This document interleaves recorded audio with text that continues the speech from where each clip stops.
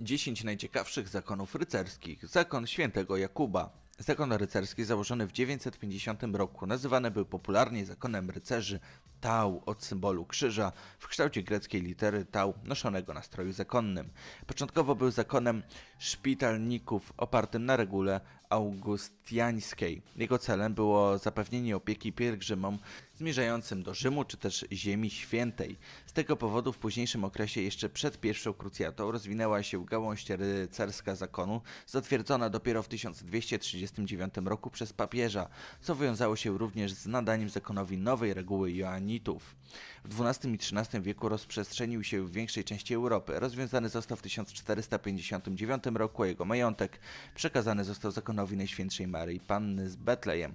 Pomimo bulli papieskiej rozwiązującej zakonów funkcjonował on jeszcze w XVI i XVII wieku we Włoszech i Francji. We Włoszech został ostatecznie rozwiązany w 1587 roku, a jego majątek przekazano zakonowi świętego Stefana.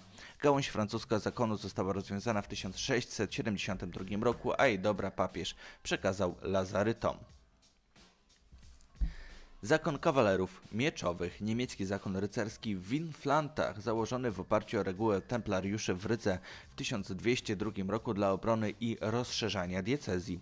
Rycerze od samego początku starali się wyzwolić od zależności biskupiej. W roku 1218 spór przybrał takie rozmiary, że biskup Albert zdecydował się wezwać na pomoc Duńczyków. Król Waldemar II stanął jednak po stronie zakonu, przy okazji zajmując północną Estonię. Kawalerowie mieczowi znani byli ze swoich licznych występków. Uciskanie ludności Inflant skutkowało m.in. powstaniem w 1222 roku. Po ciężkiej klęsce poniesionej z Bałtami w bitwie pod Szawlami w 1236 roku, w której poległ m.in. wielki mistrz, ocalali z pogromu szawalerskiego mieczowcy, zasilili rycerzy krzyżackich pod dowództwem Hermana von Balka. Stali się rycerzami zakonu krzyżackiego. Zakon krzyżowców z czerwoną gwiazdą. Chrześcijański zakon rycerski o charakterze szpitalnym, przekształcony z czasem w zakon kanoników regularnych. Powstały i uformowane w latach 30. XVIII wieku z inicjatywy świętej Agnieszki Czeskiej, pozostający jedynym męskim zakonem chrześcijańskim powstałym na ziemi czeskiej, jedynym rzymskokatolickim zakonem męskim utworzonym przez kobietę oraz jedynym zgromadzeniem, którego dom macierzysty znajduje się w czeskiej Pradze krzyżowców z czerwoną gwiazdą, znano również jako krzyżacy z czerwoną gwiazdą, szpitalnicy czy bracia szpitalni i krzyżowcy gwiaździści. Rycerski i szpitalniczy zakon świętego Łazarza z Jerozolimy jedna z najstarszych chrześcijańskich instytucji szpitalnych, w skład której wchodzą duchowni, przełoży i kapelani oraz kawalerowie i damy, będący świeckimi członkami oddanymi życiu w zgodzie z zasadami chrześcijańskiej wiary i miłosierdzia wobec innych. Zakon istnieje jako instytucja założona jako zakon rycerski na podstawie prawa kanonicznego ze stanowiskiem wybieralnego wielkiego mistrza. Aktualnie zakon jest niezawisłą instytucją ponadnarodową i jest uznawany przez Austrię, Australię, Boliwię, Chorwację, Dominikanę, Estonię, Hiszpanię, Kanadę, Luksemburg, Macedonię, Nową Zelandię, Rosję, RPA, USA, Węgry i Komisję Europejską.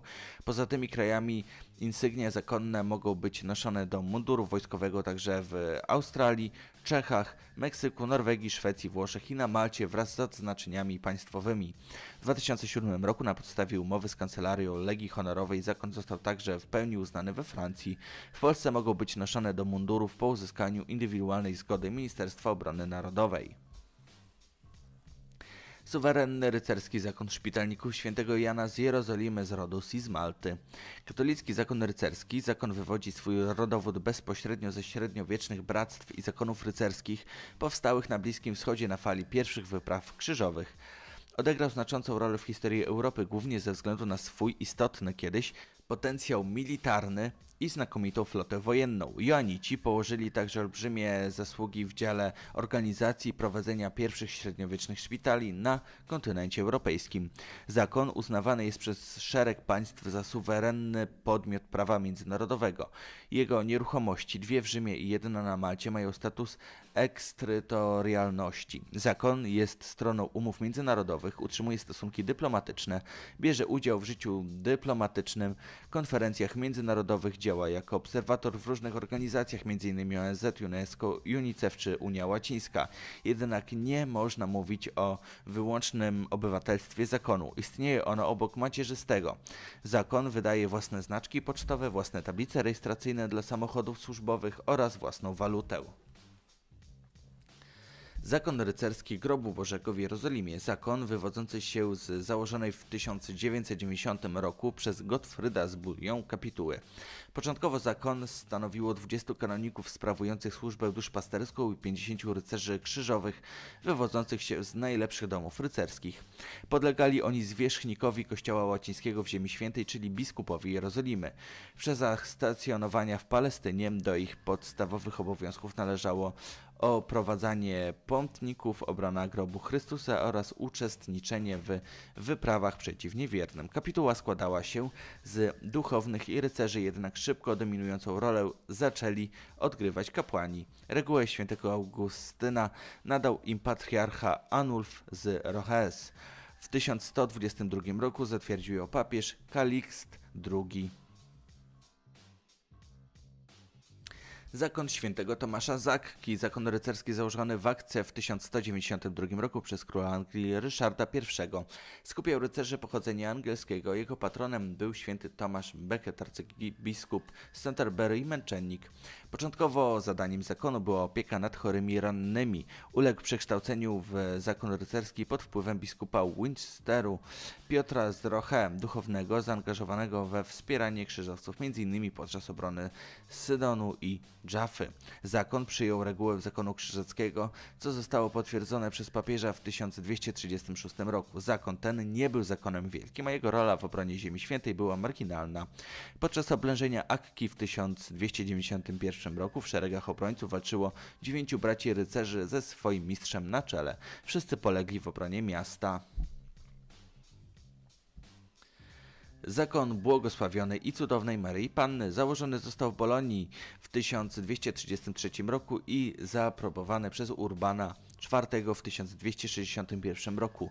W 1261 roku przejął majątek zlikwidowanego zakonu rycerzy Jezusa Chrystusa z Parmy. Jego członkowie potocznie byli nazywani radosnymi braćmi, gdyż mieszkali w swoich domach, mogli posiadać rodziny. Składali oni jednak śluby czystości i przekładanego życia, angażowali się w działalność charytatywną oraz zachowanie pokoju w swoim regionie. Zakon ten był pierwszym zakonem rycerzy, który przyjmował kobiety, nadając im tytuł rycerza. Zakon rozpowszechnił się również we włoskich miastach, lecz z czasem zaczął upadać pojawia się w, na kartach boskiej komedii Dantego, gdzie autor wypowiada się o jego członkach negatywnie, zarzucając im hipokryzję. Zakon krzyżacki. Jeden z trzech największych obok Joanitów i templariuszy chrześcijańskich zakonów rycerskich, które powstały na fali krucjat w XI i XII wieku. Sprowadzony w 1228 roku na Mazowsze przez Konrada Mazowieckiego, by zapewnić obronę posiadłości piastowskich przed Prusami.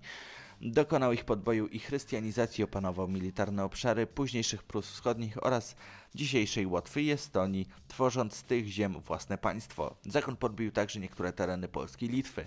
Pełna nazwa zakonu w polskim tłumaczeniu brzmi Zakon Szpitalny Najświętszej Marii Panny Domu Niemieckiego w Jerozolimie. Zakon ubogich rycerzy Chrystusa i świątyni Salomona średniowieczny katolicki zakon rycerski działający od XII do XIV wieku. Król francuski Filip IV Piękny był zadłużony u templariuszy, bo tak się ich powszechnie nazywa. Chcąc się uwolnić od zobowiązań w piątek 13 października 1307 roku uwięził członków zakonu we Francji, zarzucając im herezję, świętokradztwo, innowierstwo, czary, rozpustę, kult bożka Bafometa, odstąpienie od wiary i spiskowanie z Saracenami. Po długotrwałym procesie trwającym do czerwca 1300 1311 roku, będący pod wpływem królów Francji Sobór Wienne zdecydował o kasacie zakonu templariuszy. Jego majątki w Francji zostały skonfiskowane. Wielu templariuszy poniosło śmierć przez spalenie na stosie, w tym wielki mistrz Jakub de Molay i 50 czterech innych dostojników zakonnych. Nie wszędzie jednak likwidacja zakonu przebiegła bez problemów. Zbrojny opór stawili templariusze argońscy i cypryjscy. Templariusze niemieccy stawili się przed władzami świeckimi w pełnym rynsztunku bojowym, dzięki czemu uniknęli aresztowania.